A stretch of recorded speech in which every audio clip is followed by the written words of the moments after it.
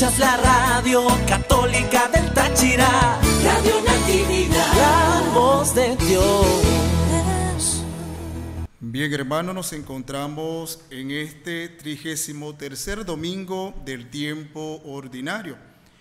Y la palabra de Dios siempre nos trae a cada uno de nosotros un mensaje de esperanza que nos invita a la reflexión, a la conversión y a pensar en cómo estamos nosotros como personas.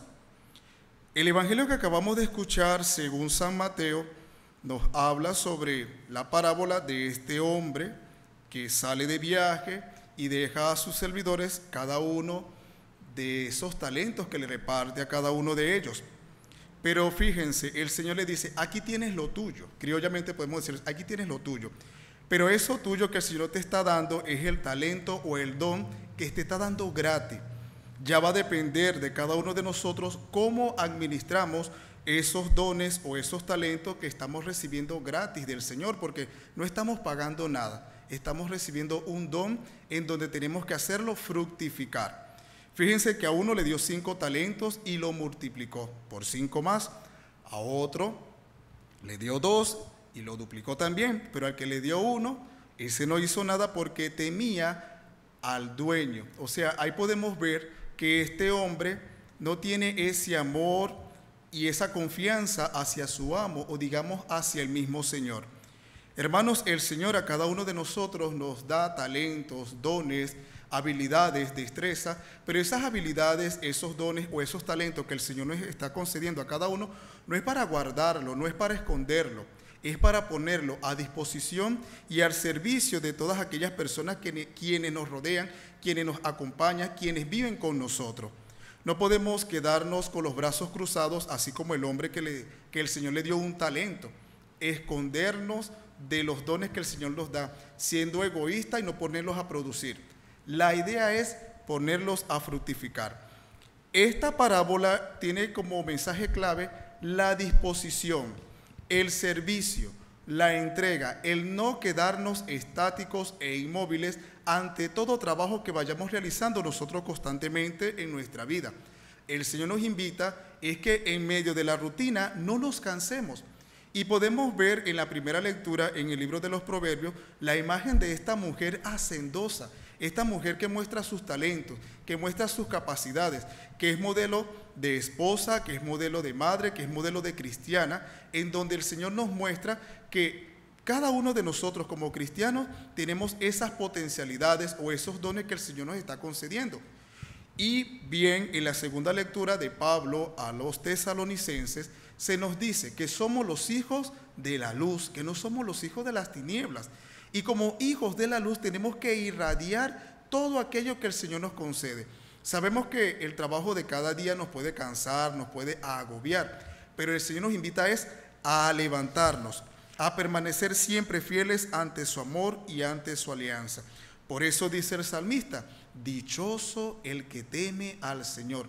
No se trata de un temor, de miedo, de escondernos por el Señor, sino la confianza que el Señor nos brinda a cada uno de nosotros, sus hijos, para poder servirle, amarle y entregarnos en medio de los hermanos. Por eso, hermanos, esos dones o esos talentos que el Señor nos concede es para ponerlo a disposición, no es para esconderlo. Algunos tienen el don o el talento del servicio de la educación, de la mecánica, del área de la cocina, de la carpintería, de la artesanía, de la música, la pintura, el don del consejo, el talento del consejo para orientar y encaminar a otros. Cada uno de nosotros sabe cuáles son esos dones o talentos que el Señor nos ha concedido a cada uno. Por ello va a depender de nosotros tres cosas. La primera es si lo ponemos a producir. Una segunda opción que va a depender del talento es que si lo tomamos en cuenta, ese don o ese talento que el Señor nos está dando. Y una tercera opción es que si lo echamos en la basura, ponerlos a producir, no lo tomamos en cuenta o lo echamos a la basura. Va a depender de esas tres opciones. Tú decides y pensarás, ¿qué talento el Señor me ha concedido a mí? ¿De qué manera yo los estoy poniendo a producir? ¿De qué manera los estoy dando a mi hermano o mi hermana de comunidad? Cuando algún hermano necesita algún consejo o alguna orientación o necesita de nuestra ayuda tanto material para acompañarle o para guiarle también. Entonces va a depender de nosotros. O nos cruzamos de brazos o nos quedamos paralizados. Obviamente que nos puede pasar como aquel tercer hombre del Evangelio, que se quedó inmóvil, que tuvo miedo, porque el miedo nos puede paralizar, nos puede estatizar, nos puede dejar allí inquietos, sin movernos para ninguna parte. Pero el miedo también tiene su parte positiva porque nos mueve, nos impulsa y nos invita a seguir adelante para emprender, para luchar a pesar de las dificultades. Por eso te insisto y te repito, va a depender de las tres opciones que tomemos con nuestros talentos. O lo ponemos a producir, lo miramos y no le damos mucha importancia, o lo tiramos a la basura. Hermanos, que María nuestra Madre, Nuestra Señora de la Consolación, siempre nos muestre el rostro generoso de su Hijo Jesucristo, que es camino, verdad y vida, pero sobre todo fuente de sabiduría y de esperanza. Por eso vamos a repetir todos juntos esta oración que nos invite a producir o a fructificar esos talentos que el Señor nos ha dado. Por eso digamos, ilumina Señor mi mente. Para que sepa descubrir tu voluntad. Abre mis oídos. Para que sepa oír. Con comprensión y con cariño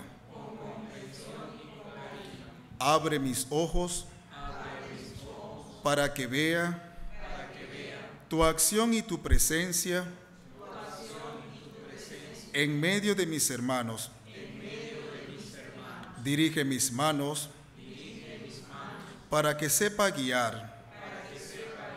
Dirige, mis pies, para que en cada momento, ocupe el lugar que tú quieres Despierta mi corazón, y, apasionalo, por, ti, por, tu reino, por, mi familia, por, mis hermanos. Señor, que toda mi persona, sea, un instrumento, del que te pueda servir, para seguir amando Amém.